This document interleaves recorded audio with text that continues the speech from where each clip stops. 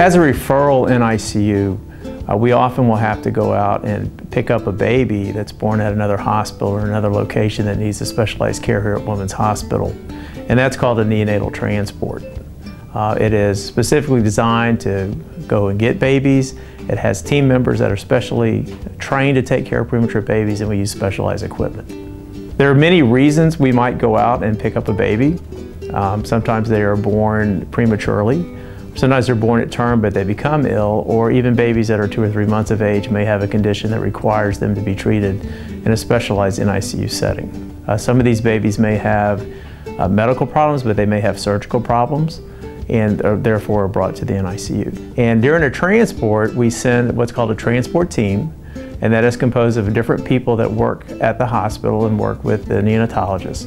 The team is led by a neonatal nurse practitioner. They're accompanied by an NICU nurse, a nurse who has special training in the care of uh, sick and premature babies, and oftentimes a respiratory therapist who also, also has training uh, to take care of premature babies.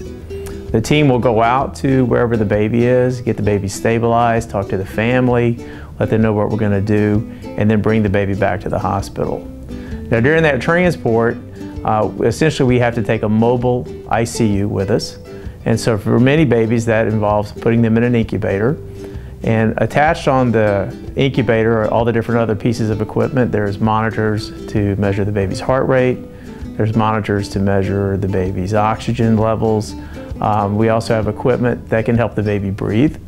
And then we also have equipment to even do lab tests on the baby to check their blood sugar or check their um, what's called a blood gas to measure how much oxygen is in their bloodstream. There are many similarities between a, a, neonatal transport or an NICU transport and other transports for like adults. For instance, many will use ambulances uh, to transport the patient, but what makes the transport for a baby different is that the babies require specialized equipment. One, they have to have, be in an incubator to keep warm. Adults is, you know, usually can maintain their own temperature.